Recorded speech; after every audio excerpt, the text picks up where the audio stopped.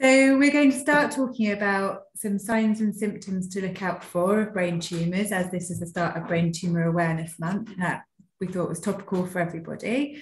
Um, so, I'm Vicky and this is Ellie, and uh, we were just having a chat amongst ourselves about the different symptoms that we see people coming in with um, and have talked about. And sometimes it's been a very short history, hasn't it? Sometimes it's only been days to weeks for some people. Absolutely. Really commonly, we see patients present to us with very short onset of symptoms. So sometimes just a headache for a couple of weeks, and then all of a sudden a big event that's led them to go to A and E. So that's really common for us to see for our patients. I think sometimes there's um, visual symptoms, isn't there, as well? Sometimes people have noticed a few things and perhaps been somewhere like the opticians because they can't, they think they need to change their glasses.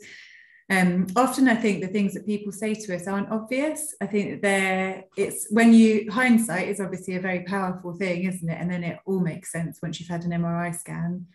But actually sometimes when you sorry, when you pick when you've been diagnosed or when you found something on a scan, people think, oh actually last week I did this or mm-hmm. last week his behaviour was funny or you know, over the last few weeks I found he's been acting odd or and things at the time you just disregard and on reflection like you say hindsight people pick up other things which were probably the cause. Yeah absolutely. I think often i think we've noticed before with times like christmas when families get together particularly for people perhaps who live by themselves things like personality changes are noticed or if um, there's been a bit of self-neglect perhaps at home and things have got a bit out of control that's when people start to notice oh there's something that's not not quite right, but perhaps the person themselves hasn't had the insight to to see. Yeah. And another really common thing, you think of brain tumours and you think of headaches, but often people say to us, I don't even have a headache. I feel mm-hmm. fine. I just had this one event, I fell over and hit my head and I did a scan, or I had a big seizure and I still feel fine. And sometimes people don't have symptoms, and that can also be quite hard to deal with when you think something's going on, but actually I feel fine.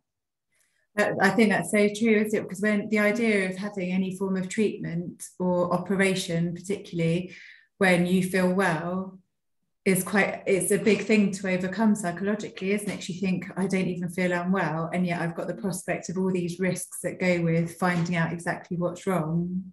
So it makes it quite hard to believe, I think. If you break your arm, everyone can see you've broken your arm and you have a sling and everyone says oh sorry to hear you've broken your arm but when you've got something going on in your head that actually your symptoms can be personality or changes in you yourself that can be really difficult and it can be really difficult for friends and family to to try and manage that as well.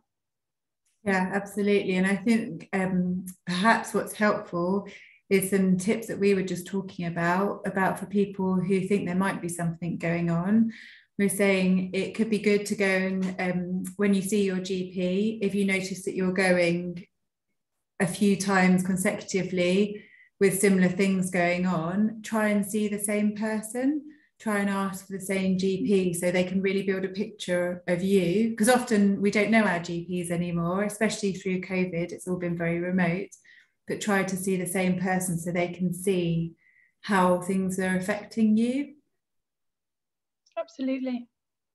Yep.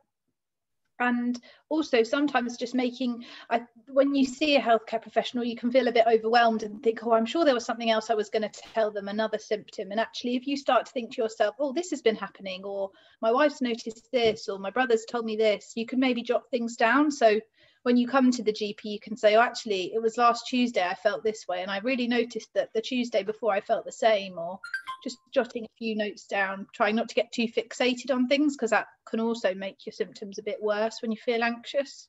Um, but maybe just jotting a few notes down so when you see your healthcare professional, you can say, these are all the things that I've been feeling. Yeah, absolutely. And I think that um, the other thing is that it's really important to feel listened to. And sometimes when there's lots of different symptoms or things that feel very unfamiliar and it can feel quite frightening, it's really important to feel that somebody's listening to what you're saying and hearing what you're saying.